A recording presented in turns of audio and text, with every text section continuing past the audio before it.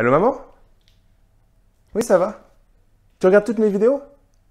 T'adores ça Ça t'a motivé pour investir dans l'immobilier? Génial.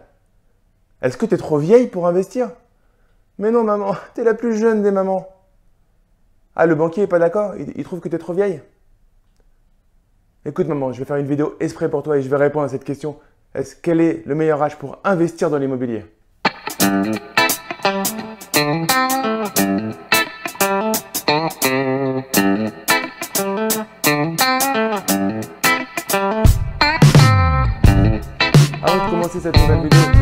Je m'appelle Damien. J'ai créé la chaîne Esprit Gagnant pour aider le maximum d'investisseurs à devenir rentables. J'ai mis en place une formation sur l'investissement locatif de A à Z. Tu peux la télécharger gratuitement. Le lien se trouve dans la description de la vidéo, au-dessus ou en dessous. Donc, c'est une question qui revient très souvent. À quel âge faut-il ou à quel âge dois-je investir dans l'immobilier? Et en fait, derrière cette question, pour moi, il y a un truc qui est vraiment important, c'est qu'il y a une énorme croyance limitante. Il y a la plus grosse croyance limitante. C'est quoi une croyance limitante? C'est un truc qu'on a dans la tête et une petite voix qui se répète dès qu'on veut faire quelque chose. Il y a une petite voix qui parle dans notre tête et qui nous empêche à chaque fois de, trouver euh, la force, la motivation pour passer à l'action. Parce qu'en fait, tu veux répondre à une question, mais à quoi ça va servir la réponse réellement? Parce que l'âge, c'est quelque chose sur lequel tu ne peux pas intervenir tout de suite. Si tu as 30 ans, 40 ans, 50 ans, 60 ans, tu ne peux pas revenir en arrière ou tu ne peux pas accélérer dans le temps. Donc il faut vivre avec cette, euh, cette donnée qui ne peut pas bouger. Et moi j'aime à travailler autour des, choses que tu peux influencer. Au fur et à mesure, il faut que tu apprennes à travailler sur les parties que tu peux influencer. Et prendre moins d'attention sur ce que tu ne peux pas influencer. L'âge, tu ne peux pas l'influencer. Tu as 30 ans, tu as 40 ans, tu as 50 ans et tu n'as pas commencé à investir. Par contre, tu t'intéresses à l'immobilier. Alors investis. C'est un bon âge. Si tu l'as pas fait avant, tu ne pouvais pas. Tu n'étais pas intéressé à ça avant. Par contre, la seule différence, c'est que tu vas devoir travailler ta stratégie. On va pas avoir la même stratégie à 20 ans, à 30 ans, à 40 ans, à 50 ans, à 60 ans. Après, je vais pas te cacher.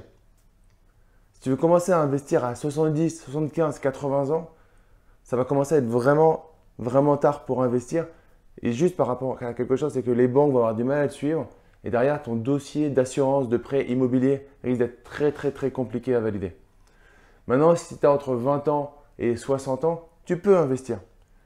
À 20 ans, je vais t'encourager dans ces cas-là à prendre les durées les plus longues pour arriver à dégager un cash flow important parce que tu auras une stratégie de, sortie euh, qui sera multiple. Soit tu sors à 10 ans, soit tu les gardes longtemps.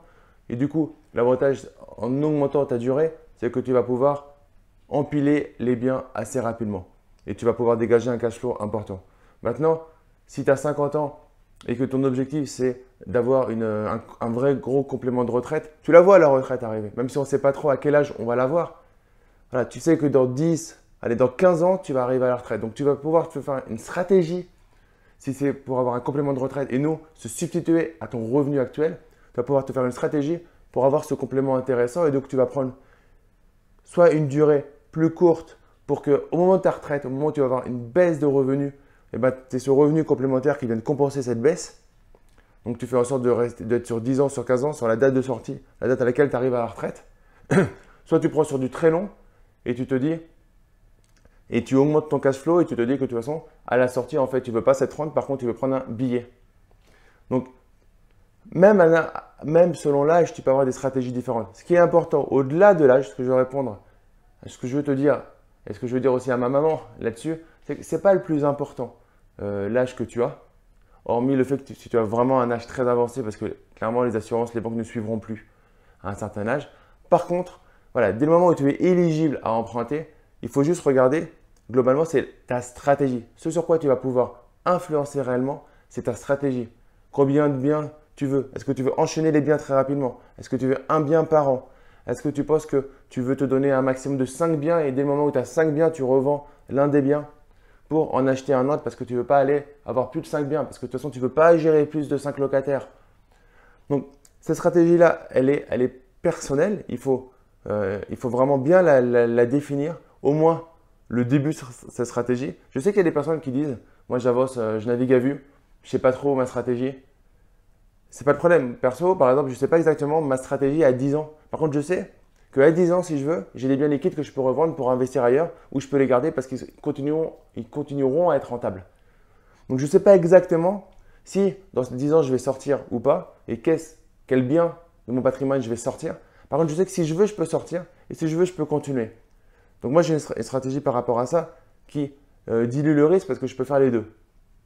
Ce que je vous dis, c'est qu'il faut éviter de euh, pour limiter le risque, il faut éviter d'aller, sur euh, une seule stratégie très étroite. Et du coup, si tu as le moindre aléa par rapport à ta stratégie, tu vas avoir des difficultés. L'âge, pour répondre à cette question, l'âge, tu ne peux rien y faire. Et maintenant, ce qui est très important, ce que j'adore dire, c'est une citation d'un livre euh, que, que j'adore, c'est fais de l'immobilier et attends plutôt que attends et fais de l'immobilier. Voilà, donc dans cette vidéo assez rapide, j'espère que tu as compris ce que je voulais te dire par rapport à ce genre de questions qui te fait perdre du temps. Il faut les retirer de ton cerveau et avancer et passer à l'action. J'espère que tu as aimé cette vidéo. N'hésite pas à me mettre un gros like. Ça me permet de monter dans les moteurs de recherche de YouTube et de faire savoir au plus grand nombre que j'existe. Abonne-toi à ma chaîne YouTube si ce n'est pas euh, déjà fait. Laisse-moi un commentaire pour me dire si tu es d'accord, quel âge tu as, est-ce que tu as déjà investi? Laisse-moi un commentaire l'âge à laquelle tu as fait ton premier investissement, et si tu ne l'as pas fait, l'âge à laquelle tu veux faire ton premier investissement. Et je ferai une moyenne, ça me permettra de voir un petit peu euh, à quel âge vous commencez à investir, sachant que le plus tôt, c'est le mieux, mais tu ne peux pas jouer là-dessus, tu ne peux pas revenir dans le passé. Donc, je t'encourage à passer à l'action dès maintenant. La première action à faire, c'est de faire savoir au plus grand nombre qu'Esprit Gagnant existe. Donc, si tu as des amis qui sont investisseurs, qui s'intéressent de près ou de loin à l'investissement immobilier, Ma dis-leur qu'Esprit Gagnant est là, que j'existe, que je suis là pour les aider, pour t'aider à devenir un investisseur rentable. D'ici là, d'ici la prochaine vidéo, en tout cas, je te dis juste de profiter de la vie, profiter des tiens et de passer à l'action. Kiff, ciao ciao